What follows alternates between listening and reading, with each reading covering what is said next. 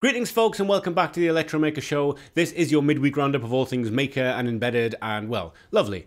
This week we have a nice mixed show of things on funding websites, some cool projects, uh, some interesting news about the Raspberry Pi Foundation, and of course, the mystery box competition. So let's get right on with it.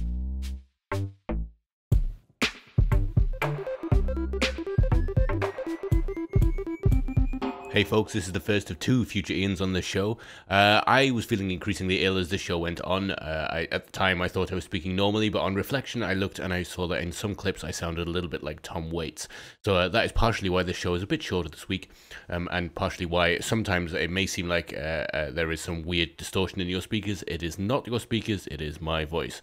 I'm fine though, it's a cold. I'll be back on form next week. And we're starting this week's show with funding website things. And here on Kickstarter, we have an 128 uh, channel input hat for the Raspberry Pi. Now, I should point out, this isn't 128 inputs you're seeing here in front of you. Um, down here is where the stuff gets really, really fun because they are stackable. But anyway, I'm getting ahead of myself. So the general idea of this Kickstarter is that interfacing with a Raspberry Pi isn't as simple as it could be because the range of voltages that things are used uh, in interfaces is so uh, great. Um, and there's various solutions you can get for this that cost a certain amount of dollars per input. I believe that must be the way it's talked about in the industry. I'm not in the industry. Um, but this is a solution exactly for that. This is a hat that sits on top of the Pi with opto-isolated uh, inputs that allow you to take a range of voltages and monitor them on the Pi without, well, burning it to death. So the hat is called 16 inputs for Raspberry Pi, which is a direct name. Um, but uh, as yeah, as mentioned, it's an opto-isolated 16-channel hat for the Pi. Um, something that's quite nice as well is it has an RS4, uh, RS485 driver, which is the standard for all serial communication, um, along with, uh, of course, the Ethernet and USB ports that come with the Pi.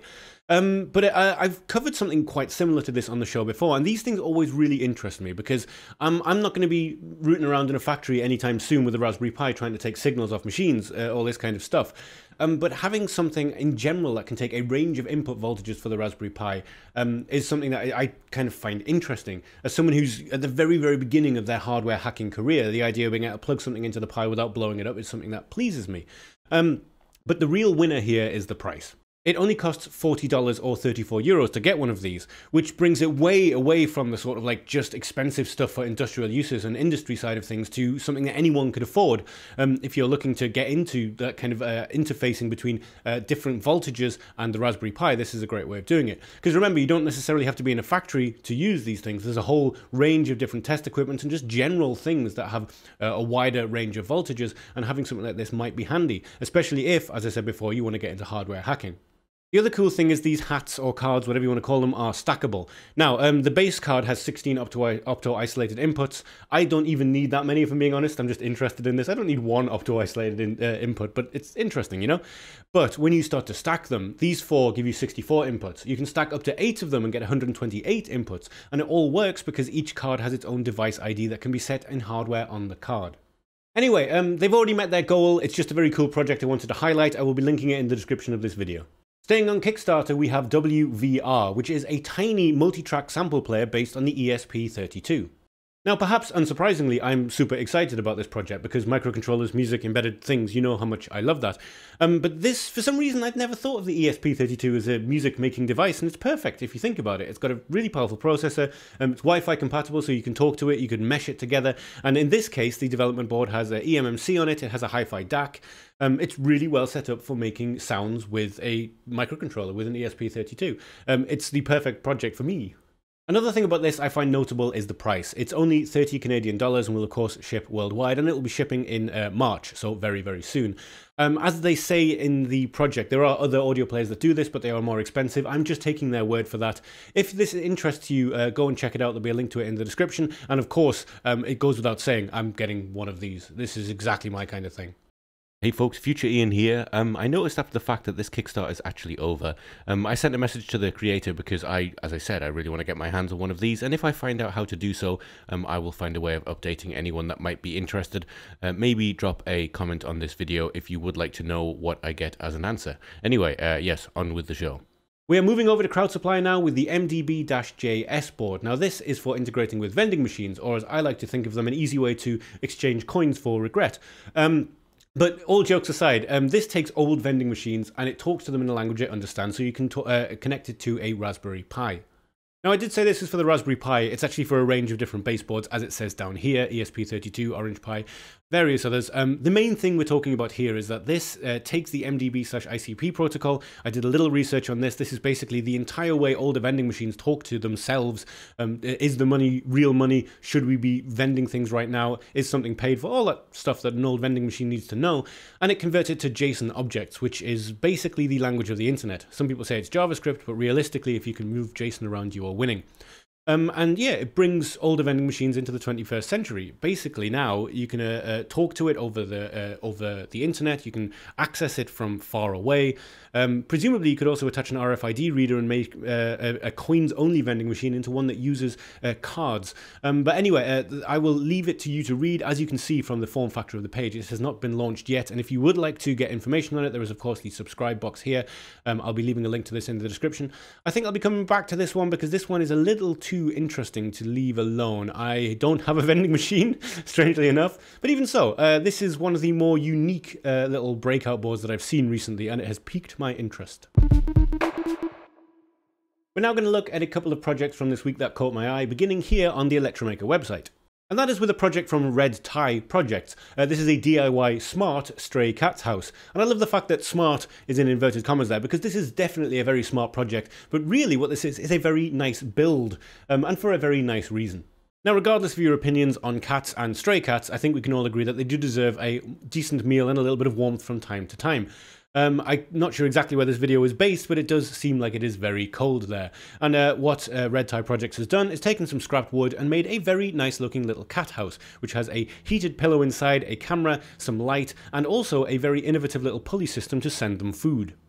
Now, as well as the camera and the heated pillow inside, um, he wanted a way of putting food in uh, the house without disturbing the stray cats. And this is where this is food transporter comes in, which uses an Arduino Uno and a little relay board, as you can see here.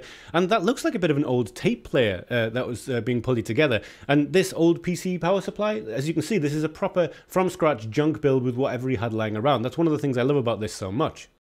So as you can see, the house is a real success. It looks wonderful. Um, there are some very happily looking fed cats here uh, that do get a little bit shocked when the food starts moving by itself. Um, but this is just a lovely project. It seems like it was made with whatever he had lying around the place at the time. And uh, yeah, just what a wonderful thing. Look at it. It's great. Moving on to a DIY intruder alert system that uses the Raspberry Pi Pico and the Raspberry Pi 4. Now this is a fantastically in-depth project which uses a motion sensor with the Raspberry Pi Pico to detect motion. It uses that to wake up the Raspberry Pi and the camera on the Raspberry Pi will take an image of the intruder, compare it to a face using a facial recognition script in OpenCV and if it detects a stranger it will send you a notification on your smartphone via if this then that. And if me describing it to you seemed hard to follow, do not worry, the tutorial is very easy to follow. It breaks it down step by step, starting with how you can wire the sensor to an LED, and later on, this LED turning on and off is the way that the uh, Raspberry Pi 4 is going to be triggered to turn on. This project is by Carlo Grisafi, by the way, and I apologize if I've mispronounced your name. Um, and uh, it goes on, as well as telling you this, as I've just mentioned, it goes on to tell you how to install OpenCV, how to train it, um, how to uh, trigger a webhook and uh, get IFTTT to notify you if the, a uh, unusual or intruder's face is detected, um, and then, of course, how to turn the Pi on and off again by shorting GPIO pins 5 and 6. Um, uh, Carlo just mentioned, by the way, that this is probably not the best way to turn the Pi on and off and wants to implement a better solution and asks for uh, comments or raising issues on GitHub. If any of you would like to do that, he has linked to his GitHub page here. Unfortunately, that does 404, but if you go to the base page um, of his GitHub um, and just look for repositories, it's R, uh, RPi4 Pico person detection. Um, I'm guessing that since he made this tutorial, he has changed the name of the uh, repository. Um, either way, this is a fantastic project. I'll leave a link to it in the description. Um, yeah, fantastic work, Carlo. I love this. Now, I've mentioned Ben Everard's PIO tutorials before. That is the Raspberry Pi Pico uh, input and output system that has its own kind of special assembly language that I've dabbled with a little bit. Um, and uh, I think the previous tutorial uh, I showed was just a very simple how to turn an LED on and off using PIO. Um, and I wasn't going to necessarily talk about it again, but now we've put one out as to how you can make a PWM synthesizer using the Raspberry Pi Pico's PIO registers. Uh, uh, yeah, how could I not feature this? So I'm not going to spend too much time on this. Just go and read Ben's tutorials there. A fantastic introduction to PIO, um, a fantastic introduction to how you can mix this PIO assembly with your Python code. Um, and this one specifically is how to make a square wave PWM synthesizer, which I find very interesting. Uh, you don't need any special equipment to do this. You can basically run this straight out of a GPIO of the Pi. You probably want to use a resistor to do that. Ah, which uh, is right here. Of course, he thought of that. Um, yeah, head over there, read this, read all of the things about PIO. Fantastic tutorials. Really looking forward to uh, getting into this one myself. And it is time for the mystery box competition. As you can see, there is a box called Mystery Box, and inside it there are many mystery items. Some of them might be the newest and coolest microcontrollers in the world, some of them might be a bit older, some of the things in here might just be shields for microcontrollers that you do not own and maybe don't exist anymore. The whole point of it being a mystery box competition is that you might win something that is mysteriously useless. Um, just a quick reminder that these are all provided by the fine people at Mouser Electronics. Thank you, Mouser. Um, but yes, let's just get on with it, shall we? I shall rummage, I shall grab, I shall, I shall get a rummagey grabby. What do we have? It's a bag and a box. A box and a bag. Product mini wireless key. Oh, okay. This is a miniature wireless keyboard. The very handy thing to have if you're ever working with Raspberry Pis and all that kind of stuff. Um, I'm just going to have a quick nosy inside the box, as is my wont. And uh, let's see. So yes, as the box says, this is one of those tiny little wireless keyboards that uses RF uh, to talk to the computer. It also has a laser pointer in it, I think, as it has a class 2 laser product warning on the bag. But this is so beautifully packed, I don't want to crack it open, so let me see if I can find you an image online. And here it is. It is, as you can see, a tiny little keyboard with a touchpad, which is nice, and a laser pointer, um, which is interesting. But I guess the whole point of this is, as well as maybe rigging it up to your Raspberry Pi the first time you boot it and turn it on, and you just want a quick way to interface with it, uh, the idea is this could be used in business meetings to point at the things and the things. Either way, one of you will be winning it, and we have our prize. Let's choose a prize winner.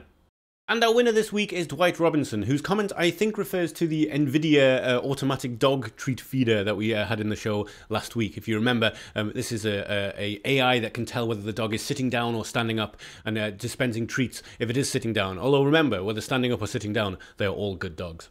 So congratulations, Dwight. We'll be in touch with you as to how we can get this out to you. And I just want to give a quick shout out to everyone who watches the videos each week and leaves comments on the uh, on the videos. I know I don't reply to absolutely everybody. Um, I as I've mentioned many times before, time is not something that I have as a luxury, but I do read all of the comments uh, when I'm on my phone, um, and it does really make me happy that so many of you are interested in this show. Um, I, obviously, this is still very near the beginning for us, but for me, it's a great feeling to know that what I'm doing is enjoyed by people. Uh, so, yeah, thank you very much for that.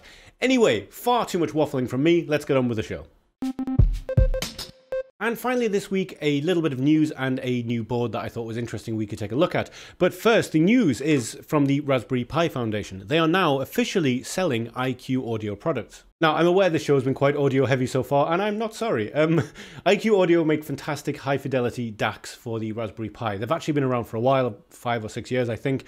Um, I think it was about three years ago I first became aware of them. I can't remember if it was on Kickstarter or whether someone just linked it to me. Um, but they're basically Raspberry Pi hats that give you full uh, high quality audio outputs.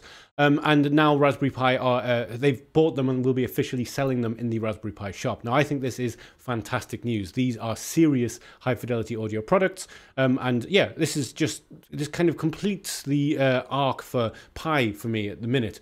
Um, Raspberry Pi Foundation putting out the Pi Pico is obviously super exciting for me, um, but the fact that um, they're going to be involved in the future of IQaudio means that, as far as I'm concerned, that's the Raspberry Pi Foundation saying yes, we will be considering um, high audio, high quality audio on the Raspberry Pi going forward, um, which is fantastic. This is great news. Um, so yes, they're already available from the Raspberry Pi shop at various prices, various setups. Um, they're yeah, they're just fantastic. I'm just very very happy that this is a thing now, I'm familiar with the DAC Plus and DAC Pro. Um, these are high, uh, high quality digital audio converters that take your Raspberry Pi sound and then you can feed it into an amplifier and then you can feed that into speakers. The uh, DigiAmp Plus is awesome because it has the amplifier built in. It can power quite absurdly high. Is it 40 watts per channel? No, 30, 35 watts per channel, which is still pretty decent. Um, pretty big speakers you can run from just a Raspberry Pi and a hat. This is everything you need to make a completely programmable digital audio system. You can probably tell I'm quite excited about that. And they do um, a Zero board as well, uh, which is for the Raspberry Pi Zero. Um, but the main point of this is that these boards are available now from the Raspberry Pi website. If you want to get one, head to the Raspberry Pi shop and they will be there. Just before moving on, I wanted to remind you briefly that the Electromaker website does have a store, um, and it stocks a load of Raspberry Pi stuff. It stocks stuff from a load of different providers. Um, now, we don't like to plug the store too hard on the show. That doesn't really fit the vibe. I don't really like the idea of this becoming one big advert. But by the same token, I can't deny the fact that anything you buy from the Electromaker store will directly support this show. It's one of the easiest ways you can support us, other than, of course, liking and all the YouTube silliness. Um, but yeah, I don't want this to become a big advert. Just a quick reminder that it exists. Um, but yeah, let's get on with the show. We're going to close out this week's show by very briefly looking at the ESP32 Pico V30 development kit. Um, now, it's named after the system on module of the same name, which is interestingly a collaboration between Amazon and Espressif. Um, I remember thinking when it was announced last year that it was a kind of interesting pairing, but by the same token, it makes sense. I mean, Amazon is such a dominant force online, um, and Alexa is pretty much the dominant uh, smart home uh, device in terms of a uh, digital assistant. If you're going to bring out a smart home device, you want it to work with Alexa, and this seems like a very good way of making it do so. Now, the Alexa Connect kit isn't something that I have any hands-on experience with it, but um, uh, Amazon has a quick explainer here. It's a managed service that makes it easy to integrate Alexa into your product. With uh, ACK, you don't need to write an Alexa skill uh, or manage a cloud service. Da, da, da, da. Uh, instead, you integrate your ACK module into your product and pay a one-time fixed cost.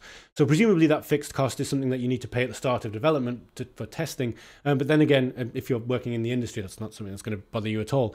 Um, but uh, rather than go through every single part of this, which I will probably get wrong anyway, um, I will just say go and read this fantastically detailed article on CNX software. As always, it is a fantastic article.